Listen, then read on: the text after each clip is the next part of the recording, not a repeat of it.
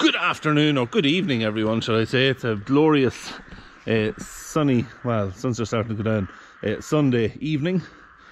Uh, but we've had a lovely day, lovely blue skies. Now, it is rather on the cold side, which kind of expected for this time of the year, uh, but it's dry, which is which is always nice. Uh, we're going to start now, we're going to feed the suckler cows we have here in the yard. So, before we get going on that, uh, I just want to show you the diet feeder. This is the the one that we done uh, a couple of bits of repairs to the door on earlier in the year, and it is it's ready to go. So uh, anybody who has any interest in the diet feeder, uh, this would be an ideal one if you are uh, looking for one that you just hitch into and put straight to work. Uh, good diet feeder. Now they're not suitable for bales. Uh, no point buying it if you wanted to put round bales in it. But pit silage, you know, we'll mix up a couple of ton, two and a half ton of pit silage. Uh, this is your machine, no problem at all. Uh, as I say, we've done a bit of work to the door of it. Uh, that's why we stopped using it. Uh, the door had went a little bit weak because it hadn't been relined. The rest of it, we had it relined shortly before we stopped using it. We didn't line the door, and the door a bit of a twist come on it, so we had to take the door off. Got a whole new piece made up for the door, stronger than what it was originally. It's now in and in and onto it. Uh, we've put a few new tips on some of the blades. There's a set of eight blades on it, so uh, knives, should I say, it'll chop up the silage nicely, uh, and then shoot on it as well. Everything's working. Uh, there's a weight cell on it uh, where it'll uh, it it weighs the silage as it's going in. That's all in working order.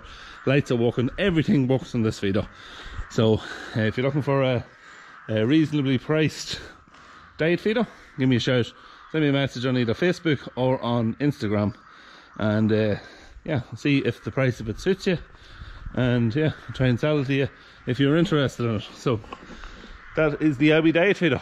So as I say, what we're going to do this evening is we're going to get the diet feeder out. Uh, we're going to mix a bit of silage in it and feed our cows that's back here in the yard. Uh, we'll get going with that now. Get the drone up, try and take a bit of footage as I'm doing it, and see how we get on.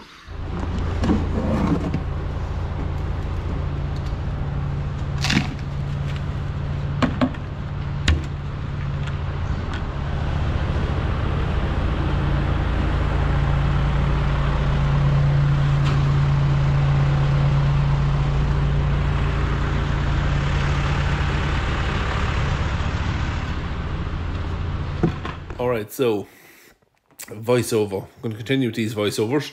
Um, still getting good feedback uh, about the voiceovers. People seem to like them more so than uh, sticking up some kind of dancing music. So, as I say, I'm going to keep going with them for now uh, until people start saying that they're sick listening to me and we'll go back to the dancing music. Uh, so, you seen I put the minerals into the bucket there just before we uh, went to the, the teleporter footage. Uh, I've just tipped it in now to the tipped it in the diet feeder. And I'm heading off down the yard. I'm going to put some silage in first. Now,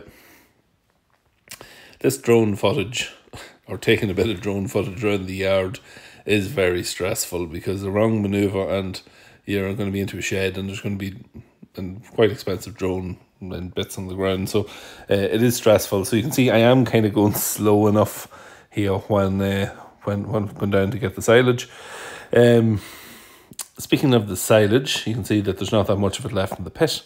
Uh, pit at this stage now, we're down to the last. There's one, gra- uh, well, I call it a grabs with uh, left.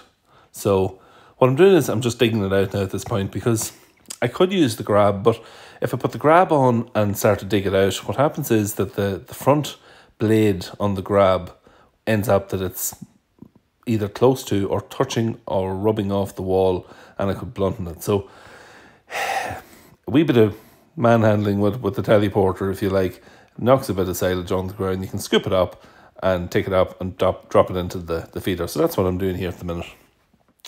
The grab, incidentally, we've had it since 2007 and it may have gotten sharpened once, but uh, it it the blade is very good in it. The blade is now we've we've we've minded it quite well.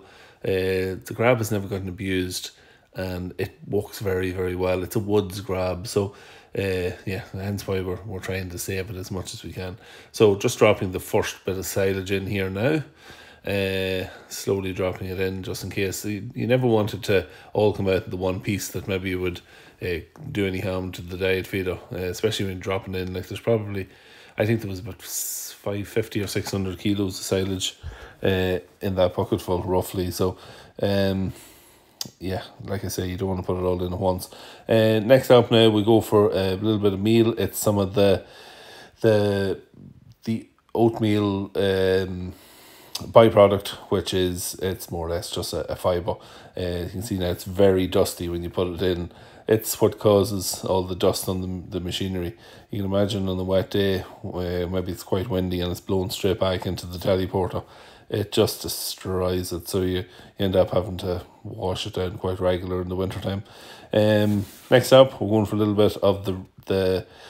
It's the another byproduct. It's the the byproduct of uh, biomaking, which comes in from the UK, and just a little bit of that in. That's really all that they get now silage, uh, minerals, and those two products.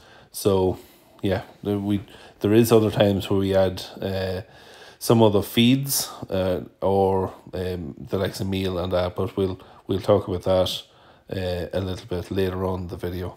Um, now at this point, I think I've transferred over into the tractor I have. Uh, and I'm just going to start to go and discharge out the feed. Uh, so I'm just popping off the PTO and selecting gear and driving on. Uh, yeah, I think what I'll do now is I have a little bit of footage of inside in the shed. Uh, we'll move over the dart. You can watch me discharging it out uh, with normal sound, and then I'll come back and I'll voice over then the last little bit just as we, we get parked up and ready to go again. So, uh, yeah, slowly going into the shed here, and, uh, just keeping over tight to one side and probably watching the drone at the same time. but yeah, there we are. Now we're just pulled on in. So we'll go to the discharging.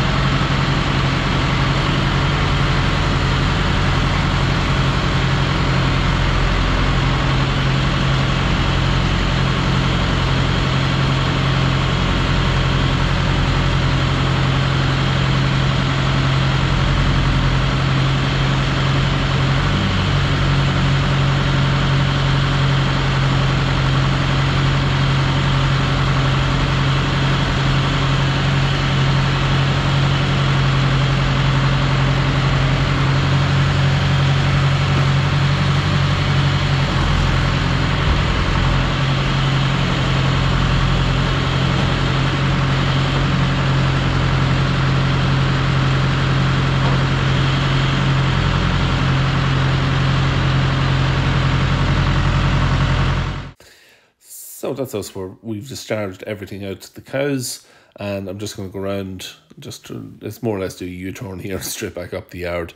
Um, this is the first time really I've used this drone in this kind of low light conditions, and I have to say I'm quite impressed with it. Uh, so I'm looking forward to next year maybe uh, at busier times of the year, um, whether it's harvest or silaging or mowing uh, to be able to use this drone. Maybe another way, sometimes you could be working late enough just to get a field finished or something done. Uh, it'll be nice to, to use it then and get a bit of footage uh, late at night. Um, yes, that's really this part of the video more or less done. I'm just going to pull into position. We still have all the other cattle to feed at this point. Um, but what we'll do is now we'll, we'll we'll head over to the last part of the video where I just talk about the cow shed here, uh, about the feed that the cows will be moved on to uh, towards the end of the uh, their before they calf and after they calf and that. So we'll move on to that now. All right, so finished feeding now about an hour and a half. You can see the cows uh, are all quite settled and still still eating a little bit. Uh, they're, what they're doing is now they're sorting through it, looking for an odd potato that they might see here and there. Uh, yeah, they'll get one or two and they'll not be happy. And they're fairly sure that there's none left. Uh, they'll push. They, they usually stop. Uh, they'll eat then whatever they have in front of them. They'll have pushed a little bit out. You can see the way they've pushed it out further than what they can reach. In the morning then come along just shovel it all back in. Uh, they'll then eat most of it then again tomorrow. They might have another look for a few potatoes in the morning again. They have the whole routine that they do. Tomorrow evening then there'll be a small amount. Brush it in before you start feeding. By the time then you start to discharge feed it'll all be gone. So just the way it works out. But yeah they're they're doing well. And I've already talked about uh, what I put into the the feed itself uh, in the voiceover. The only time that changes is sometimes we might add a bit of straw depending on the grass and, or silage that they're eating. Uh, the silage maybe if it was running through them a little bit uh, or it was leaving them a little bit loose we'd add a little bit of straw just fibre wise to tighten them up. And that's one reason. The other reason then too for calving if you see that there's too much condition on them the silage is too good the quality is too high they might start to put on too much condition if that happens uh, add some straw into it that just helps to pull back the condition a little bit off them so uh, that's really the only thing, time we change it. It more or less stays fairly static right up until the calve. Once then they've calved, there's protein and an extra uh, some barley added to it just to help the cows, help the milk, and yeah, that's really it. Um, but yeah, I suppose you'd be wondering why don't you ever put feeding boxes here? We have feeding boxes here. Uh, you can see some of the the squares was here still in the ground. Uh, the shed was predominantly used for weanlings back before we started the sucklers and the feeding boxes were well wide enough for the weanlings but once we started with the cows and uh, you weren't able to just put enough silage in the feeding box to last the whole day meant you were having to come back in the next morning put silage out and we found even at certain times of the year that wouldn't even be enough. You'd have to come back in again maybe at 3 o'clock and put more silage out so this way here we can put the right amount of silage out toss it in a couple of times a day and it all works out. And everybody's happy so. Yeah but if we ever wanted to we could put the, the feed boxes back. Uh, all the steel work is here they're all down along the wall. You can see them right down. Covered in cobwebs. Uh, it really matters slot them all back in clean out the boxes slot them in. Uh, buy some new planks. We need uh, nine new planks couple of pieces at the end. Feeding boxes were all back installed. But unless we have a change of system um, and the cows are no longer in the shed that's not going to happen you know so uh, yeah it'll continue on the way it is for now. Um, but that's really it for today's video. I suppose uh, I'll tell you what's coming up in the next video. I'll have a video up I'd say on Tuesday evening. Uh, that will be of a few different things uh, busy day tomorrow so I'm going to collect maize meal in the morning I'll probably take the 6-9 on that run uh, come back from there I will then have uh, the low loader on the tractor as well, the new low loader. We have to take bales back uh, to the cows in the other yard too. And I'll get a bit of footage of all that, maybe feeding the cows down there too. So, um, the other thing I have as well, I've Olight have sent me out a light. I have a review to do, so that'll be up and that'll be in Tuesday's video too. And there'll be details of a new flash sale they've uh, coming up then uh, for all over the towards the end of the week and the weekend for Black Friday. So uh, just watch out for that too. So that's it. Uh, as always, if you haven't sub uh, subscribed, don't forget the sub button. It costs you absolutely nothing. Get down there, hit the sub button, ring the little bell beside it, gives you notification every time I post a video. Leave a like on the video if you like this video. Comment down below.